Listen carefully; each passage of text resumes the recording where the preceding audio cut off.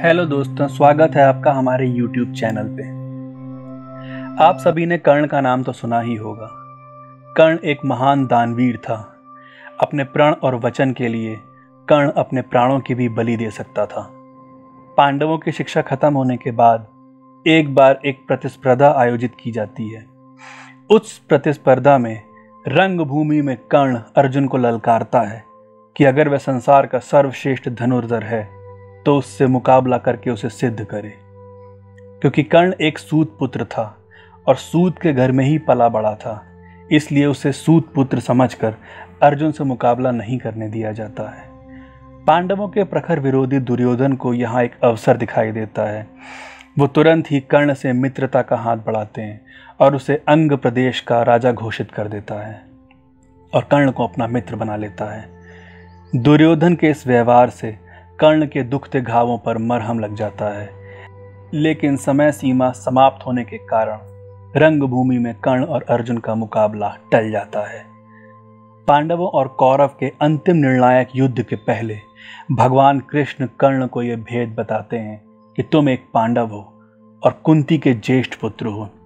इस रहस्य को जानकर भी कर्ण अपने मित्र दुर्योधन से घात करके अपने भाइयों की ओर नहीं जाता है। दिव्य कवच कुंडल के साथ कर्ण अजेय था। पांडवों के लिए उसको हराना नामुमकिन था और महाभारत के युद्ध में पांडव उसे कभी परास्त नहीं कर पाते। अतः इंद्रदेव ने उसके साथ एक छल किया। इंद्रदेव सुबह स्नान के समय ब्राह्मण स्वरूप में आकर दान में कवच और कुंडल मांगते हैं। और क्योंकि कर्ण के पिता सूर्यदेव थे और सूर्यदेव ने कर्ण को स्वप्न में पहले ही दिखा दिया था कि उसके साथ क्या होने वाला है। इंद्रदेव उससे रूप बदलकर कवच कुंडल मांगने आएँगे, पर फिर भी दानवीर कर्ण ब्राह्मण रूपी इंद्रदेव को खाली हाथ नहीं लौटाना चाहता था और उसने इंद्रदेव की मांग पूरी कर दी।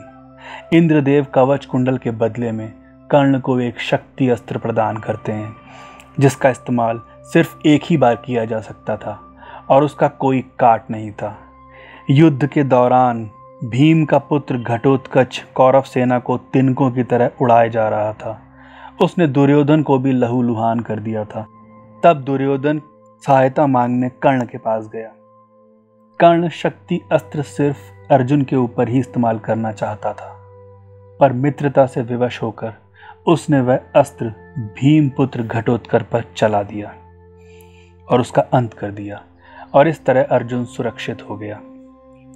अपने साथ दो दो शापों का बोझ लेकर चल रहे कर्ण को ये बात पता थी कि जहाँ धर्म है, वहीं कृष्ण होते हैं और जहाँ भगवान कृष्ण हैं, वहीं विजय भी होती है। फिर भी उसने न दुर्योधन के एहसान को भूल कर उससे घात किया और ना ही अपनी दानवीरता से कभी पीछे हटा। ये कहानी हमें बताती है कि हो सके तो किसी के ऋणी मत बनो और एक बार अगर किसी के ऋणी बन ही जाओ तो ऋण चुकाने में आनाकानी मत करो। अगर कोई कुछ मांगने आए तो उसे निराश नहीं करना चाहिए। जितना संभवता हो, उसकी मदद करनी चाहिए। अगर आपको ये कहानी पसंद आई हो तो हमें कमेंट करके ज़रूर बताएँ और ये कहानी औरों को भी शेयर करें। इस कहानी को लाइक करें, सब्सक्राइब करें। धन्यवाद।